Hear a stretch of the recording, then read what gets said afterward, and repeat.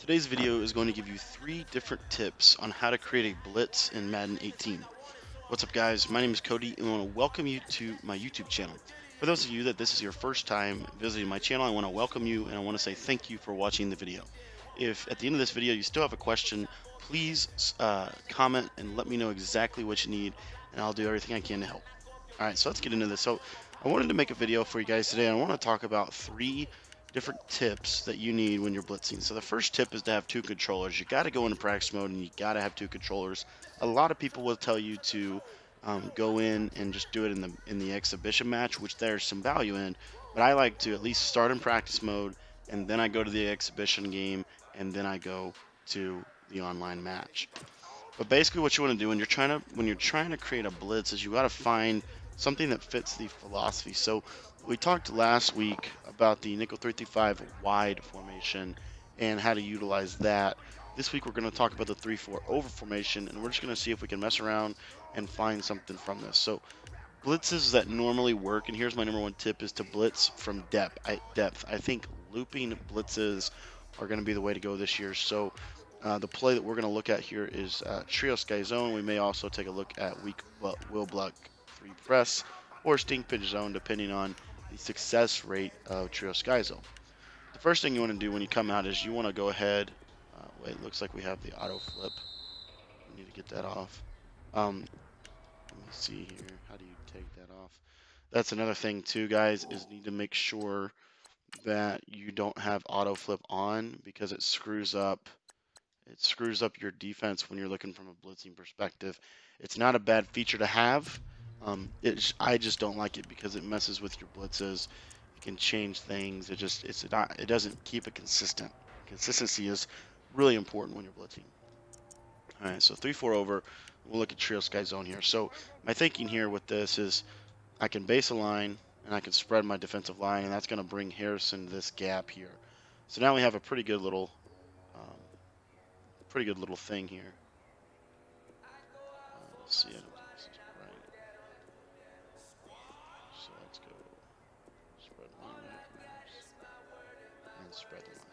There we go. So all we've done is we've spread the linebackers, we've spread the line, we're just going to snap the ball. We're going to see what, what we think. And there you can see we get some pressure, but not quite clean. So then what you want to do is, and here's the second tip, is to utilize instant replay to try to get some in, to try to get some data, get some information. So once this happens, we back out. We're going to look at instant replay. We're going to try to figure out what the line is thinking. So that's where you want to flip this and really just kind of focus in on the, the line of scrimmage. Um, so here, the center does a good job at taking number 90, and then they slide in. Number 93 gets taken out. The edge rush is not there, and we're not able to get it done.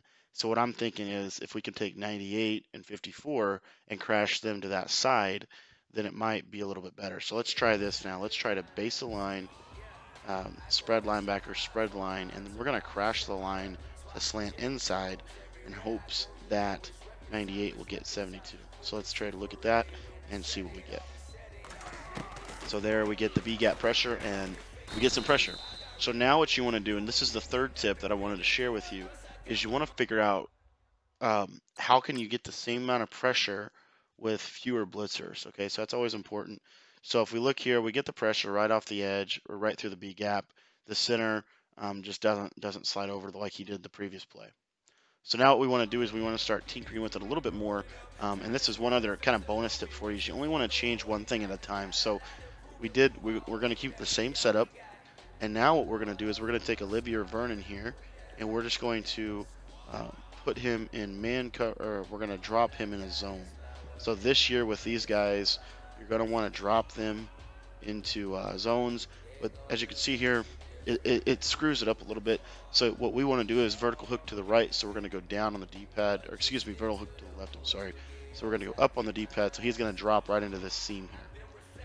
And then we're, we're probably going to use our um, this guy right here on the play. So we're going to kind of hover him over the middle line, over the middle center. But we'll, we need to put him back here though. We'll show you that in a minute. We're probably going to use him. So snap the ball. And that time, uh, as you see there, the blitz didn't work. So that means we can't drop him in a, in a hook zone, but we could potentially drop him in a quarterback spy. So let's try that. Let's try putting him in a spy.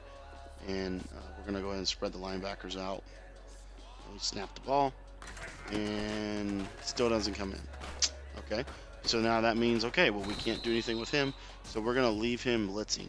So now let's try it again just to double check and make sure that it still works with him blitzing. Snap, go, and there you go. There's the pressure right off the edge like we wanted.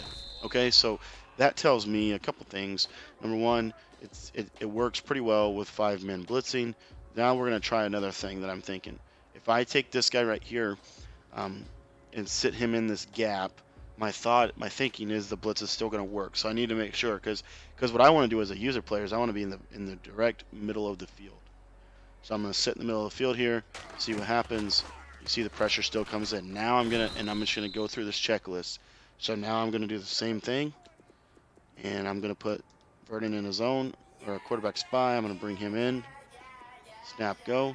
I'm just gonna work out. See the blitz didn't work. Okay, so it doesn't really affect it. So you just kind of go through these checklists of things that you can do to uh, to improve your blitz. One other thing we'll try here is the quarterback contain rush, just to see how that plays. We'll snap the ball and go. And you see we kind of get through, but at the same time it's still kind of sloppy. So then your conclusion, then then that's kind of the final step, is to draw a conclusion. What am I going to do with this play? Well, now I know I need to blitz five people, and they need to come right down here. Um, and I, you know, and I need to just crash line out and keep it simple. And you see the pressure is going to come. So, anyways, guys, those are the top three things that I go through the the mental checklist, if you will, for creating a blitz. So, um, if you're new to the channel, do me a favor and just comment on this video and let me know how you found my channel. Number one, number two, uh, what is it that I can help you with in Madden? I just want to kind of help be a be a be a resource for you guys. So anything you need, let me know, and I'm going to try to help improve your game. Uh, and then one other thing from from you guys, if you can subscribe to the channel, that would be awesome. That way you're going to be able to get notified whenever we have Madden 18 content for free on my channel. So I want to thank you guys for watching today's video, and be sure to subscribe to the channel for more Madden 18